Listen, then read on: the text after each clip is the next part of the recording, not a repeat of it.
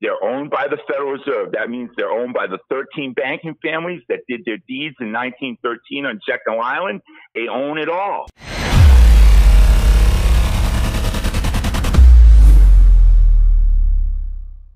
Hello, you are live on Marfoogle TV. What's going on? Hey, Marf, it's Mountain Man. Hey, what's going on? So, uh, let's see No. here. You're uh, calling about uh, recent solar winds and blows transformers and EMP CME protection. Okay, go ahead. Yeah, so, you know, when I called the last show, you know, I postulated that, you know, these, uh, the seven day, you know, brownouts, you know, rolling blackouts were because this, um, stratosphere, um, the ozone layer in the stratosphere, which is allowing the UVC rays to be recorded on Earth. And my source for that is Mr. MBB333. So I'm glad to hear that you're hooking up with him because I've watched his videos. He basically gave meters to people in different parts of the US and Canada. And they just, you know, turn the meter on and, you know, read what's on the ground. So um, we recently just had a storm in the Northeast. And during the storm, 70 mile an hour winds, three and a half inches of rain here where I am in Vermont. And the storm came across the country. In other words, on the East Coast, for us to get a storm of that power, it has to be either a hurricane remnant, tropical storm remnant that comes up the coast, or a storm that comes directly across the country and then reforms off of the East Coast, taking all the power of the Atlantic Ocean and blasting us. That's how we get storms of that magnitude. This was neither. This was the remnant of the Colorado storm that I was talking about when I called the week ago and it came to the east and dumped three and a half inches of rain. So my point is, is that this, you know, lack of stratosphere, lack of ozone layer is allowing solar winds to come in. Inside the solar winds, and it's it's called ionization or plasma, is the electromagnetic pulse that everyone is protecting against. They're obviously going to create a fake boogeyman. That's what they always do. You know, someone's going to, you know, have an EMP bomb, but that's not what it is. It's coming from the weather and this red thing, you know, planet, energy mass, whatever you want to call it, that's getting closer. And as I told you, November 18th is when we this thing gets the closest to us. So to me, it's only going to get worse between now and November 18th. And so boom, I told you in the last call that as I'm driving in Vermont, I seeing brand new electrical lines with a brand new uh, surge protector in it, which is obviously some type of EMP shield, really high tech looking. This is Vermont. You don't have anything high tech looking in Vermont. It's brand new line. And so we didn't have any transformers explode during the storm. But guess what? Maine and New Jersey had transformers explode during the storm. Mark, when have you heard of during hurricanes about transformers exploding? You hear about trees, you know, being knocked down and power lines being blown down, but you don't hear about explosions. And the reason why is this: is this plasma, uh, this plasma air that comes down. It supersizes these storms. Okay, so instead of getting an inch of rain, you're getting three and a half inches of rain. Instead of getting 20 mile an hour winds, you're getting 70 mile an hour winds. And then more importantly, this conducts electricity in metal. So when this wind hits the transformer that's metal, it then interacts with the electrical source that is there and kaboom. So that's what's going on. And, you know, talking about uh, black, blacking out California for 10 years, it's just throwing us off the scent. You know what I mean? It's making us think that it has something to do, you know, with uh, some type of long term thing. And it's not. It's just to throw us off the scent in the short term.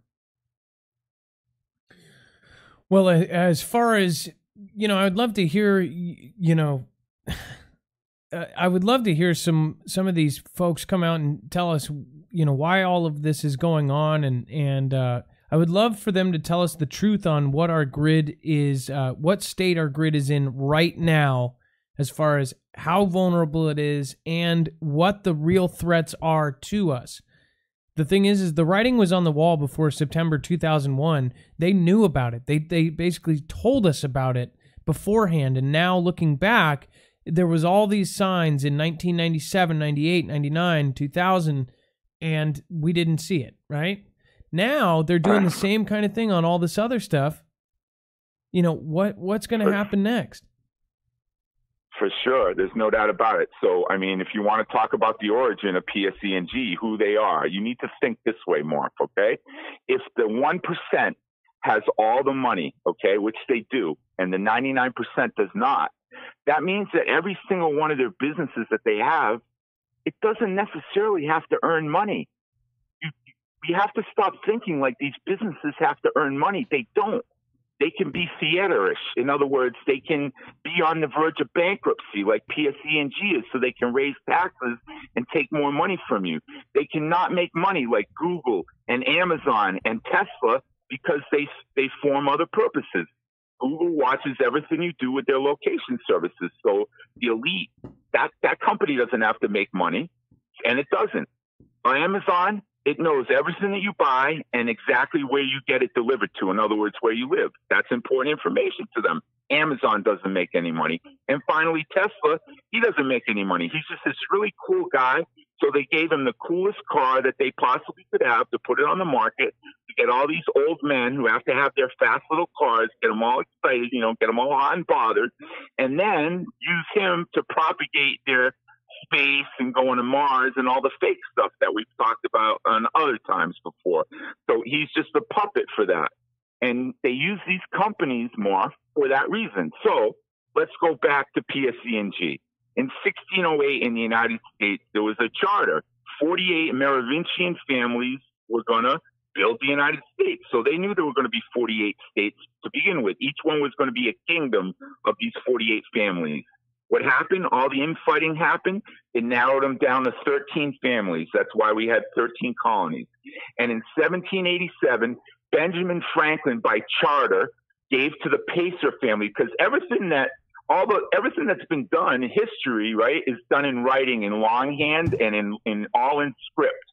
And in 1787, Benjamin Franklin, by charter, gave the Peyseur family, P E Y S E U R, uh, all uh, all communications generation in the uh, United States forever, and all transportation in the United States forever. Okay, and then they they enacted a law that said that only and so the first communication was telegraph, and the first transportation was railroad. Then they passed a law that said that the only people that could create electricity were railroads. So by default, the Peyseurs got all the all the electrical generation in the United States. And then in the 30s, they lost the, the they lost all this stuff because of uh, someone dying and the trusts that were associated with it, and it went to a mobster in New Jersey by the last name of Close in the 50s. And his daughter was Margaret Cran- his daughter was Mar- Margaret Crandall uh, Close, and she was the first Federal Reserve governor of North Carolina in the 60s, and that's when the Federal Reserve got those assets. So now let me go back to the railroad, Marf. So the railroad had created an organization called the United States Secret Military Railroad Police.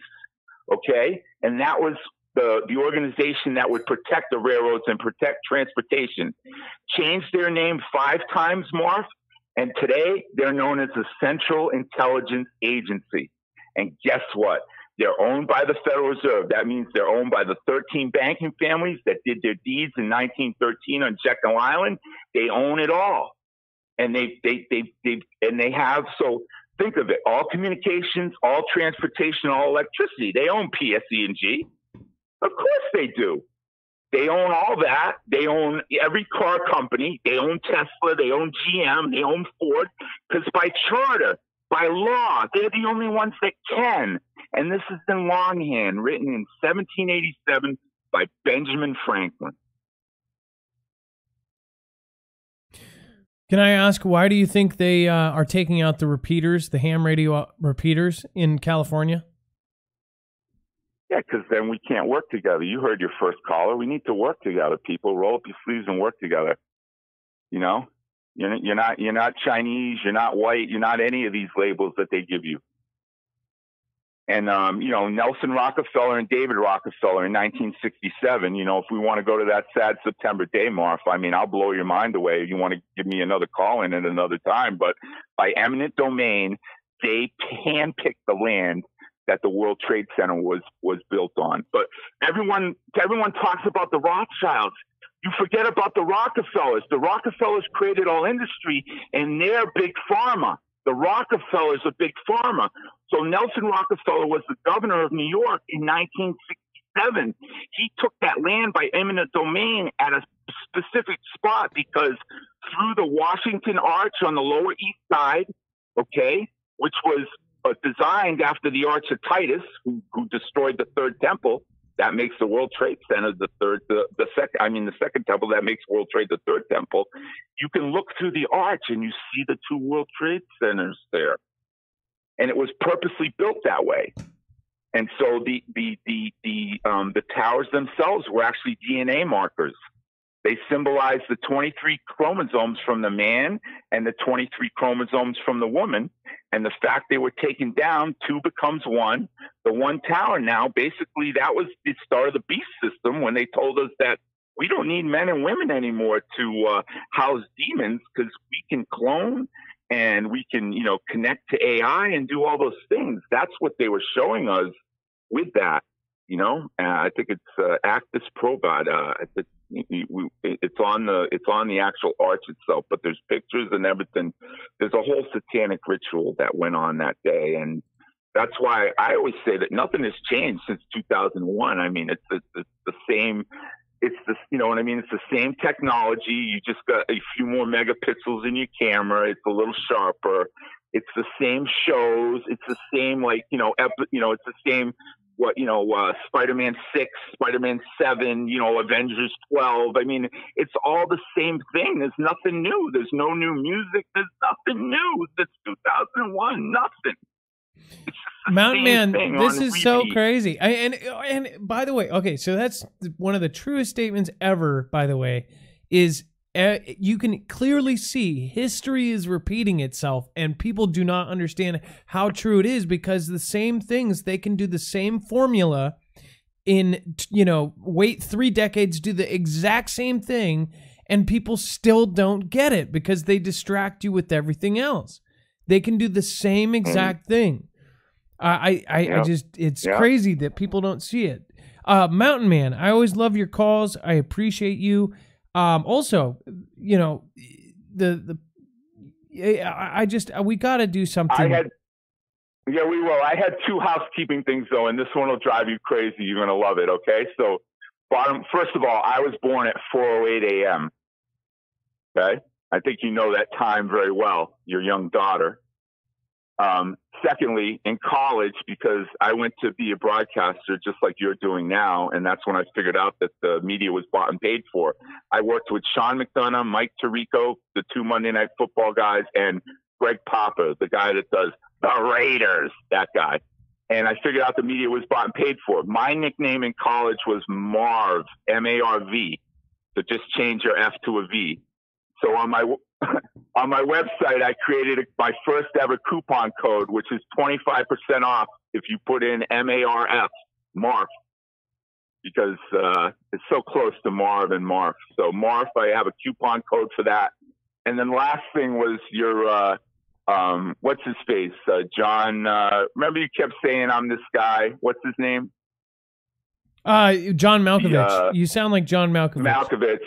Yes. Okay. So here you go. This is going to blow you away.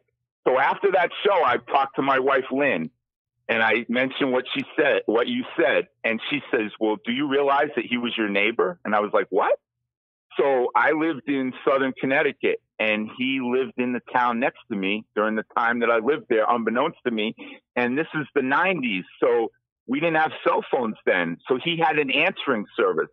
And guess who worked for the answering service? My wife. And guess who was his um, answerer? My wife. No way. yes, so you mean he yes, paid yes, the yes, Oh, that's funny. Yes. I found that out after the show. It blew me away. It blew me away. Mountain Man. Anyway, um, I'm showing your I'm showing your website. Mountain Man does. Uh, well, I, I we can't. It's very careful about what it is, but he does creams that uh, come from plants that come from Earth. That when you put it on, it's magically better. If you know what I mean. It uh,